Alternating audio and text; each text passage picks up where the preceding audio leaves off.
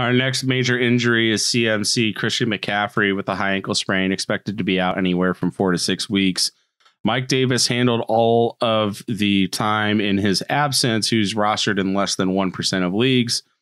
It is worth stating that um, Curtis Samuel did get a rushing attempt afterwards. Maybe that would become more of a thing.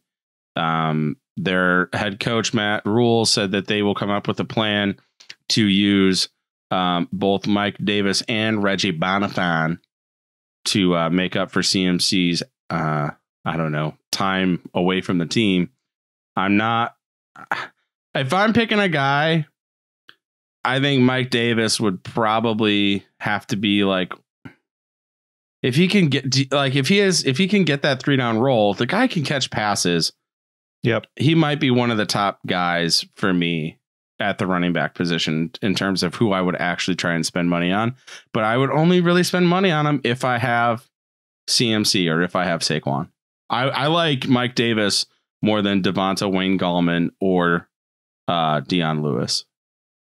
I totally agree with you. Uh, me being a McCaffrey owner in one league, he basically seems like he's going to replace, I don't know, at least 60% of production you'd get just because of all the passes that he caught at the end there. Mm-hmm. I mean, mm-hmm. if, if you were a CMC owner and you saw him when he went out in the fourth quarter uh, after scoring that touchdown, and all of a sudden, uh, Mike Davis has eight catches for 74 yards, basically all in the fourth quarter.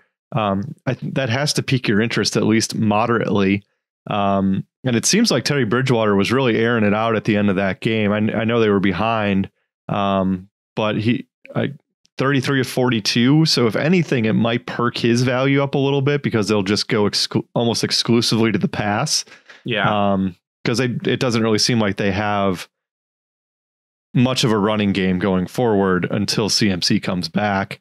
Uh, so I, I would expect them to continue to throw the ball more um, increasing those wide receiver value, increasing uh, Mike Davis value too.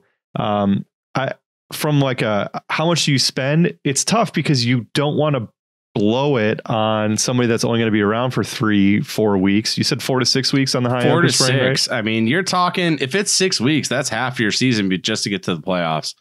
You got to be yeah. blowing forty percent, fifty percent FAAB I think that's too much. If you're a CMC owner, if you're the um, CMC I, owner, yeah, maybe maybe you could justify that. It depends on what your backup situation looks like, um, or you know what the rest of your roster looks like.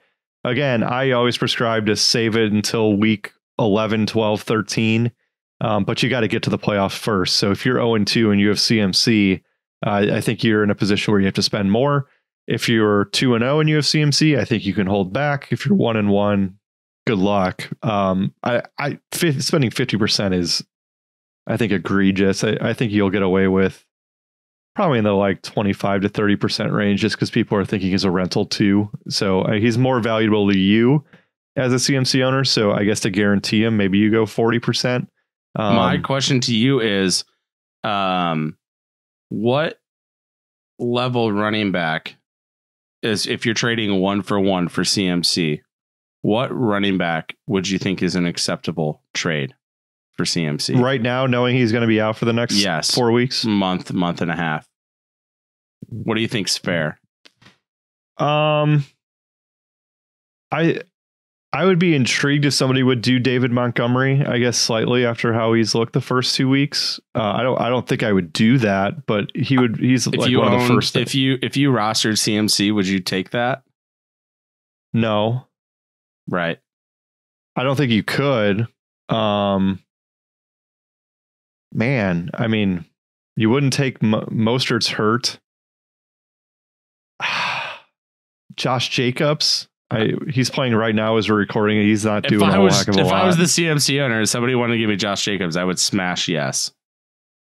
Yeah. Okay. I mean, he's maybe one guy. You wouldn't do it for Joe Mixon, who's looked no. terrible. Um, it's hard because a lot of the RB two, like high end RB two guys, sort of have had one good week, one bad week. Like Gurley's right. been kind of uninspiring. James Conner has been down, then up. Mostert was great, then got hurt. Monty's David the Johnson. only one that's been above and has been a little bit more consistent. Mm-hmm. Um, but yeah, I just thought that that was an interesting question. Um, yeah, what do, do you have a barometer on that? I mean, you're saying yes to Josh, Josh Jacobs, but I don't know. I'd be looking for two guys. I'd be looking for a running back and a wide receiver just to try Yeah. it because it's elite level production.